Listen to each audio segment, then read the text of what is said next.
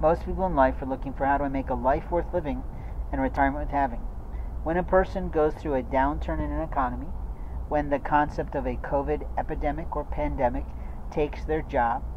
when they lose their job based on a social network that fails them in their company, there are several root cause analyses that we can take. First, the person didn't do a good job in evaluating whether or not the job was a good match for them in the first place. Second, they were promised a lot of things by the company that didn't deliver over the course of time, so they're ready to, well, escape the lies. Third, they might just have timed out of what they can learn in that company, and very bright minds often only stay with companies a couple years at a time. Truly lawful people like to build businesses and they build businesses that last literally for years. The reason they last for years is because they have learned how to be, deliver customer service. Customer service is built solely, completely on understanding the simple three R's of community. The simple three R's of success in life are understanding your role in that situation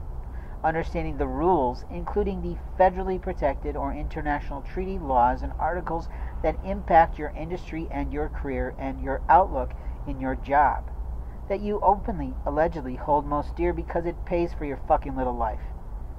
and the responsibilities that should have been articulated to you in a job description written and handed to you to read and check off each single item that you read,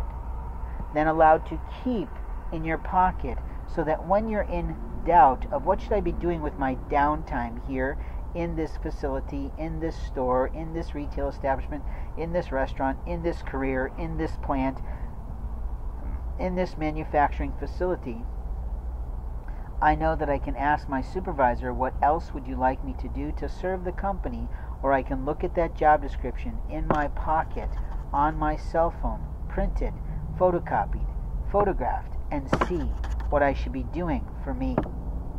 When you step outside the boundaries of your job, you start to placate yourself in a powerless situation because, in the end of the day, a manager, a supervisor, a president can fire you anyway. You see, when you step outside your job entity, when you start to piss on people in a way that do not serve your company well, you better believe you're going to end up in hell.